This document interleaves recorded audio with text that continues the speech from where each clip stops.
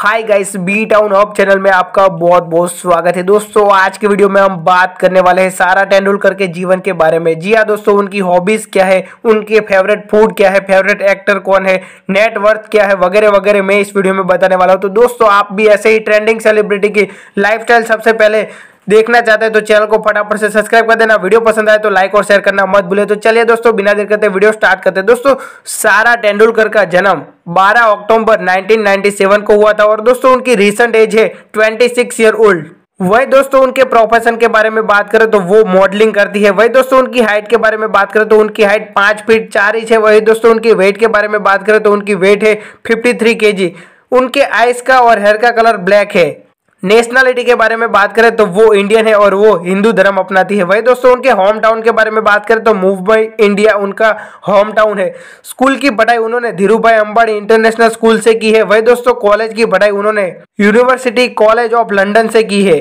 उनके education qualification के बारे में बात करें तो उन्होंने ग्रेजुएट इन मेडिकल किया है। उनके फैमिली बैकग्राउंड के बारे में बात करें तो उनके पिता का नाम है सचिन तेंदुलकर।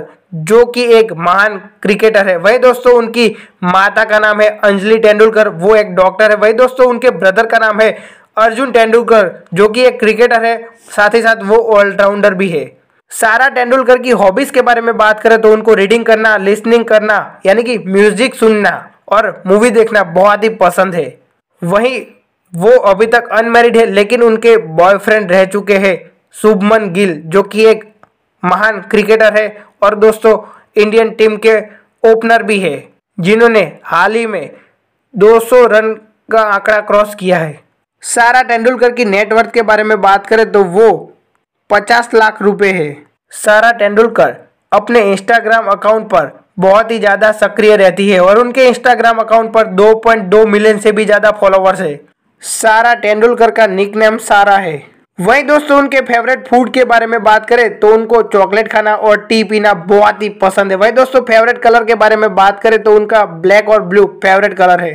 तो दोस्तों, ये कहानी थी सारा तेंदुलकर के जीवन के बारे में। आपको ये वीडियो कैसा लगा, हमें कमेंट बॉक्स में लिख के ज़रूर बताना। वीडियो पसंद आया तो चैनल को फटाफट से सब्सक्राइब कर देना।